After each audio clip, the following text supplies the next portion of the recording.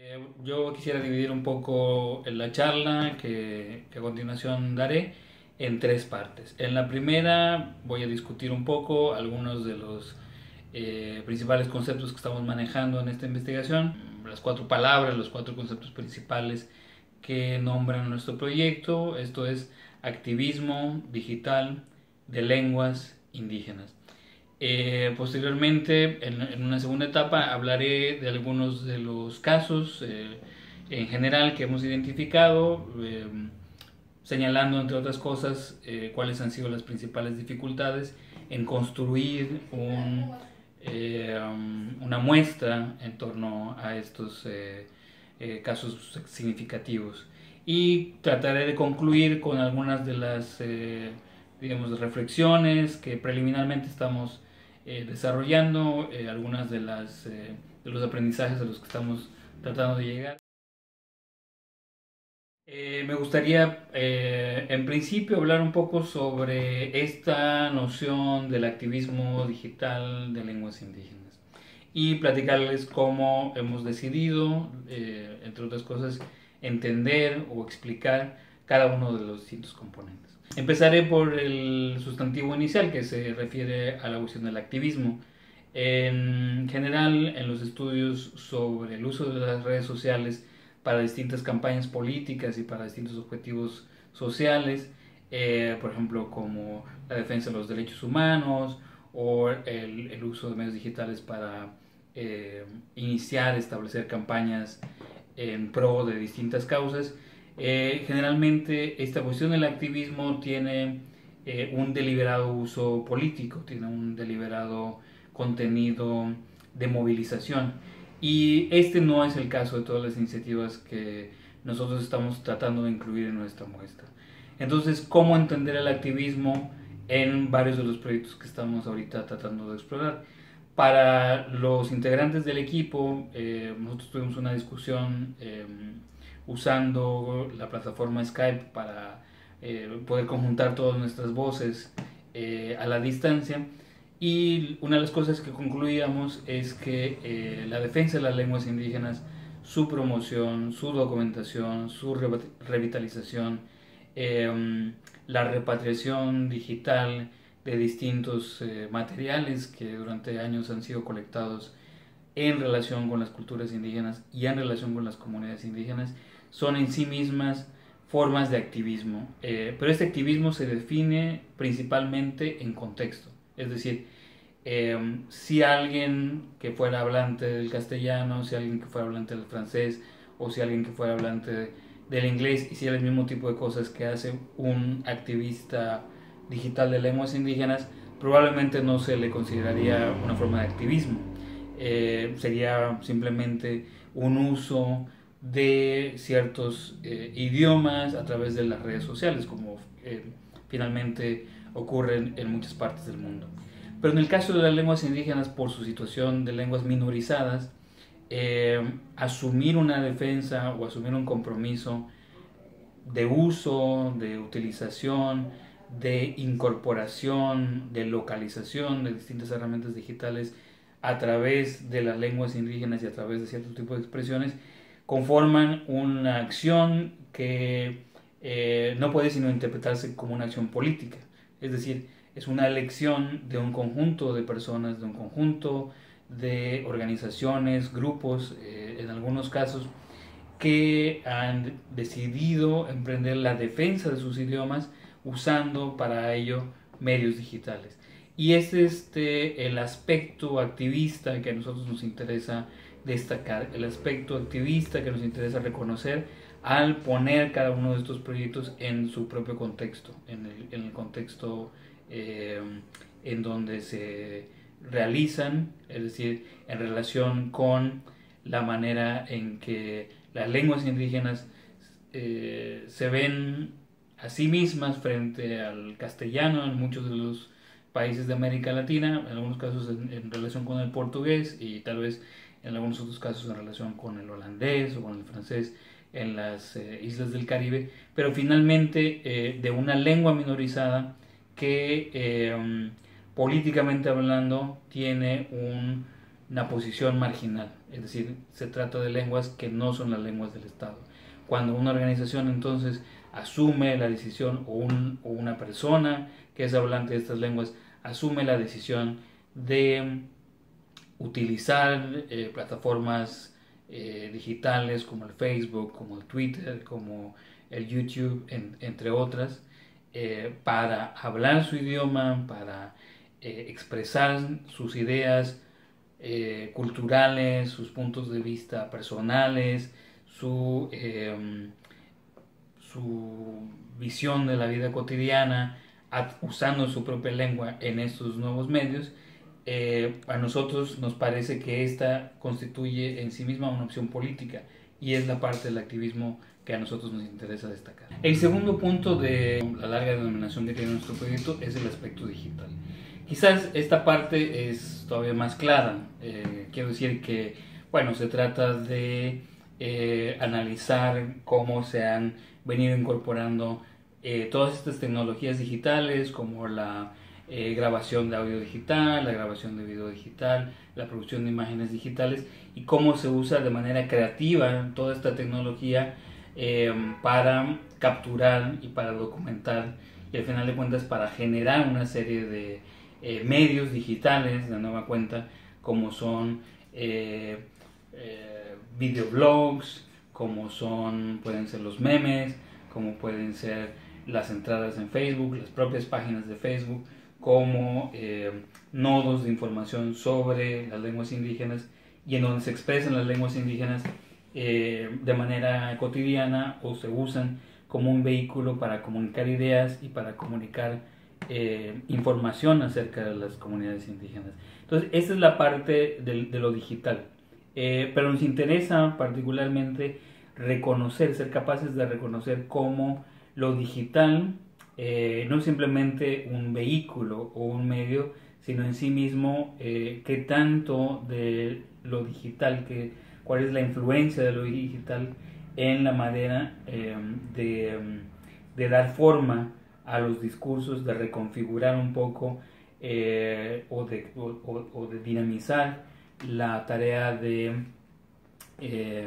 documentar, de recuperar, de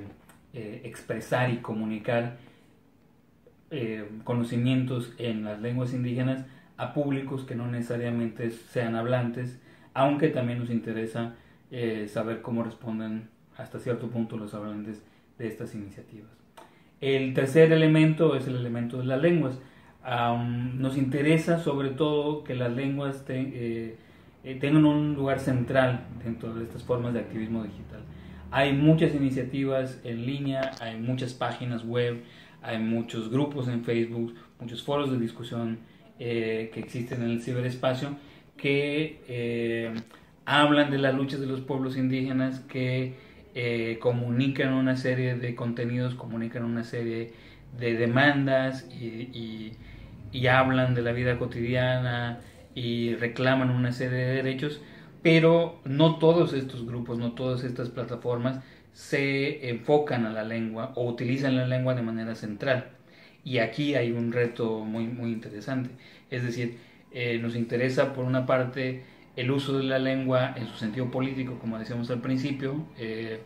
en cuanto a, su relación con una cierta forma de activismo, pero por el otro lado nos interesa también que las lenguas sean centrales a este esfuerzo. Y finalmente el asunto de que sean lenguas, lenguas indígenas. Y aquí no nos interesa tanto el purismo, no nos interesa tanto la, mm, digamos, la, documentación en su sentido lingüístico más eh, puro, sino nos interesa sobre todo que eh, estas tareas de rescate estén enmarcadas dentro de un proyecto hasta cierto punto de reivindicación, no solamente de la lengua, sino de la identidad indígena al mismo tiempo y que los principales sujetos, o por lo menos los líderes o las, eh, eh, los, principales colaboradores, sean o se identifiquen ellos mismos como, como indígenas. Una de las, eh, digamos, mayores dificultades que hemos tenido para incorporar algunas de esas plataformas que primordialmente trabajan con lenguas indígenas es que en muchos casos se trata de lingüistas, lingüistas profesionales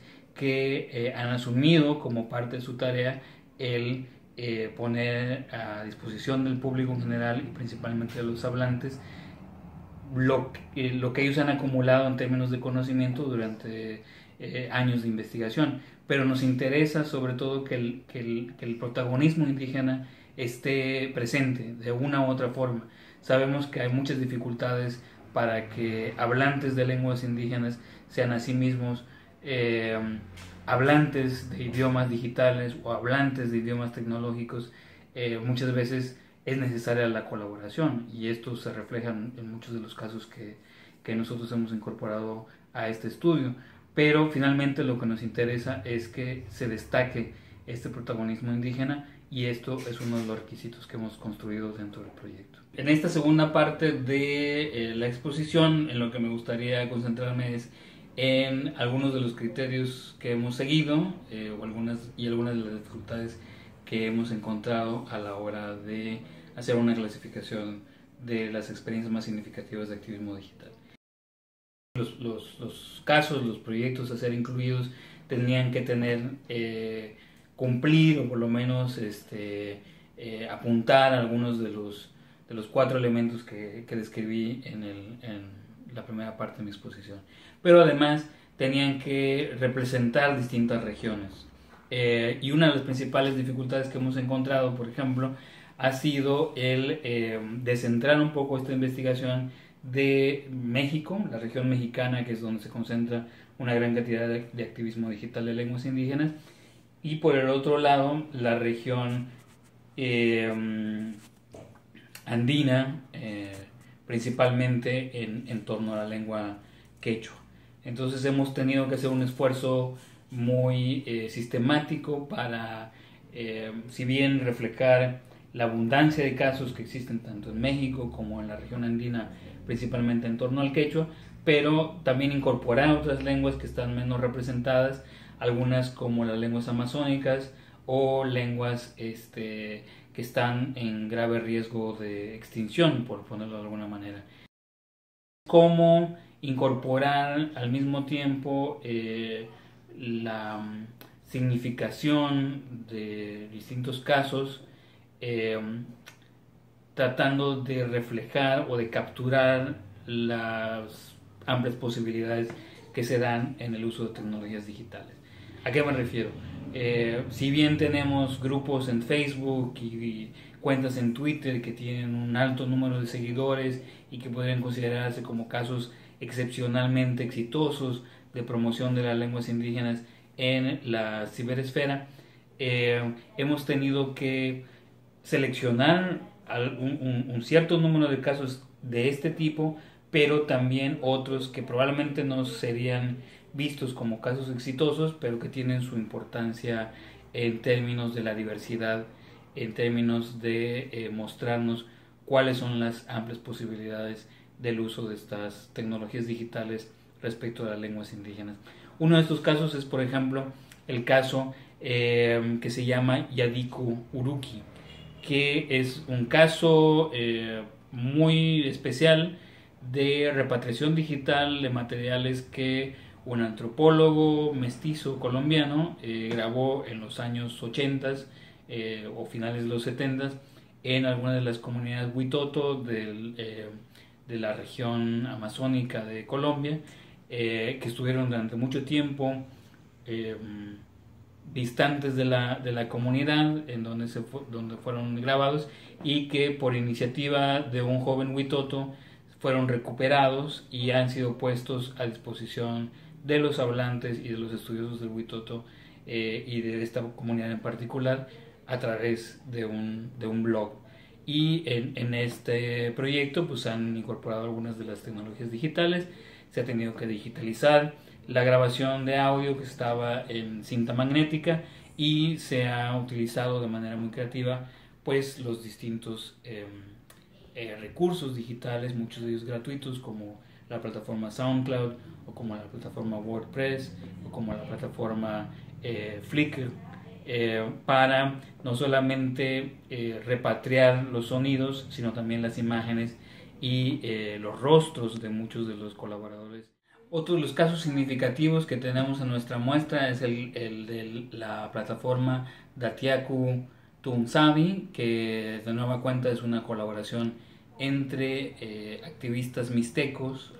activistas tanto políticos como culturales mixtecos, pero principalmente gente que trabaja en torno a la lengua, con lingüistas profesionales de la Universidad de Sevilla, la Universidad de Salamanca y de la Universidad de Valencia en España. Eh, y este proyecto nos pareció interesante porque precisamente la, la colaboración se da en torno a la construcción de una suerte de agregador de materiales sobre la lengua mixteca en todas sus variantes en un solo espacio, es decir, en una, en una sola plataforma. Esto en sí mismo nos eh, habla un poco de cómo se combinan labores de curaduría, eh, cómo se combinan eh, distintos tipos de conocimientos e, e intereses, por una parte de los lingüistas, pero por otro lado también de parte de los activistas indígenas,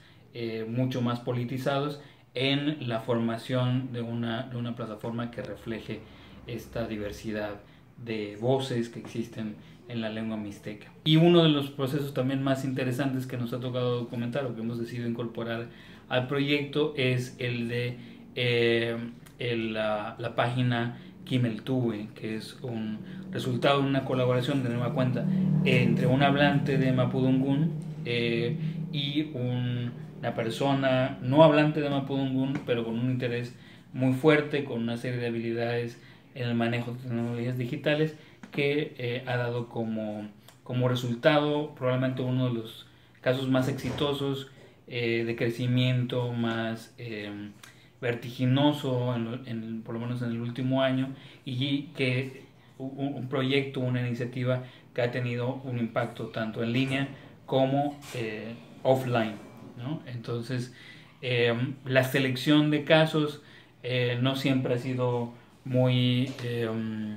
muy fácil, han, sido momentos en los que hemos tenido que poner sobre la mesa si el interés principal es en la figura de las personas que impulsan los proyectos en tanto que activistas digitales, en tanto que personas comprometidas con sus lenguas o con las lenguas indígenas, aunque ellos no sean pertenecientes a, estos pueblos o si lo que nos interesa es más el proceso, la em, diversidad, la variabilidad eh, de las iniciativas y tratar de capturar el arte, la creatividad, las posibilidades de innovación que se dan en este sentido. Eh, por ejemplo, en el caso yucateco tenemos eh, la iniciativa del Chilambalam, que nos muestra una posibilidad bastante eh, creativa de, uso del, Twitter para atraer al, a la ya de por sí eh, grande comunidad de personas que están interesadas en la lengua maya yucateca. Y, eh, pero nos parece que el trabajo del Chilambalam, es decir, de, de esta persona que es un periodista, que es un activista, que es un escritor de lengua maya tiene un plus, tiene una capacidad eh, muy interesante de documentar, muy interesante de explorar para atraer a, nuevos públicos. Em, pero el balance siempre ha sido un poco difícil, es decir, hay personas muy talentosas que tienen muchas iniciativas y que a veces desarrollan eh, distintos proyectos, están haciendo localización de software, tienen su propia página en las redes sociales, tienen una interacción muy cercana con sus propias comunidades, están implementando cursos fuera de línea y todo esto nosotros estamos tratando de entender, por lo menos de, estructurar a partir de una, de una línea de reflexión que si bien reconozca todas estas contribuciones, pueda eh, arrojarnos luz por lo menos sobre un proceso en particular. Y con esto ya comienzo a adelantar algunas conclusiones. Eh, hasta el momento eh, tenemos distintos niveles de avance y desafortunadamente hemos encontrado dificultades en términos de coordinación, en términos de acceso a los representantes de los casos. Eh, hemos tenido un proceso en el que hemos querido pues compartir y de alguna manera entendernos eh, mutuamente eh, todos los investigadores que estamos en este proceso y construir una manera común de entender el activismo digital de lenguas indígenas que eh, ha sido eh, ha ido avanzando lentamente porque nosotros mismos en el equipo tenemos perfiles diversos y también tenemos intereses muy complejos y una manera muy diferente de entender el activismo digital. Pero lo que hasta ahora hemos podido reconocer es, eh, bueno, como, como, conclusiones en torno a estos casos, eh, tiene mucho que ver con la necesidad de la colaboración entre los hablantes de las lenguas indígenas y los no hablantes. Eh, la importancia que tiene, por una parte, el, la creatividad personal, el talento individual de ciertos activistas, su compromiso con la promoción de lenguas, con la documentación de los idiomas y al mismo tiempo eh, la posibilidad de poner todos esos talentos y la dificultad asimismo de poner todos estos, talentos dentro de una estrategia que garantice el largo plazo de todas estas iniciativas. Em, y finalmente la, la, necesidad de ser experimentales, la necesidad de ser innovadores eh, como una de las principales eh, como uno de los principales requisitos para que los eh, proyectos de activismo digital puedan destacarse en medio de las cientos de iniciativas que existen en América Latina de distinto tipo. Eh, por decir, en Facebook han de existir decenas de grupos abiertos, cerrados, páginas que se dedican a publicar memes, páginas que se dedican a publicar entradas y que, bueno, rebasan algunas veces eh, los cientos de seguidores, eh, pero que no representan significativamente un, un, avance en términos del alcance que pueda tener este tipo de activismo. Y eh, ahí la necesidad de reconocer,